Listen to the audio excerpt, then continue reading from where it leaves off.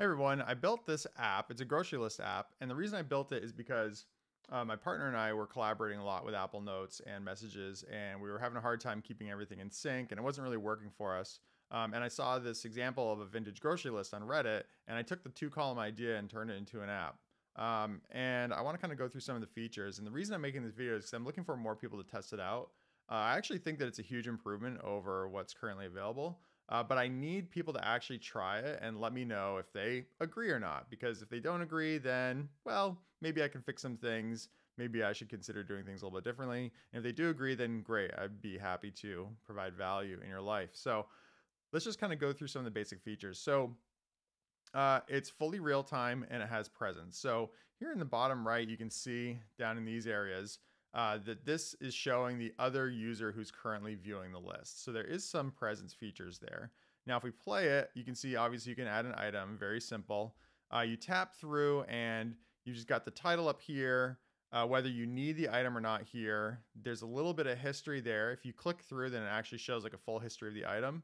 And then you can just add a photo. Now you'll notice that this is pretty bare bones. That's because uh, I did kind of like a very simple version of this to get out to people. And some of the features that we want to add are we want to add the ability to um, type a descript like uh, some notes here. We want to do some item tagging with categorization, um, maybe like assign it to a certain person, maybe assign it to a certain store. And of course, um, I'm not likely to use a lot of these features, so I'm going to design it in a way where it's not intrusive if that's something you're not into. But those are some areas of improvement that the community has actually already um, has actually already provided. Uh, but you can see that we have like a upload the photo flow. You can crop the photo.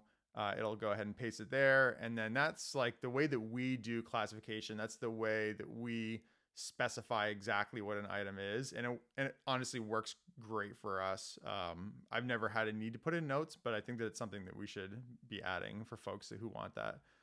Um, now, what you can see here is on the other screen, uh, somebody has gone ahead and tapped, they've actually tapped this cart button. What it does is it hones it down into a shopping list based on only the things you need. And so as you check it off, uh, the progress bar goes through and it actually updates live on the other person's screen. They can see who's checking it off.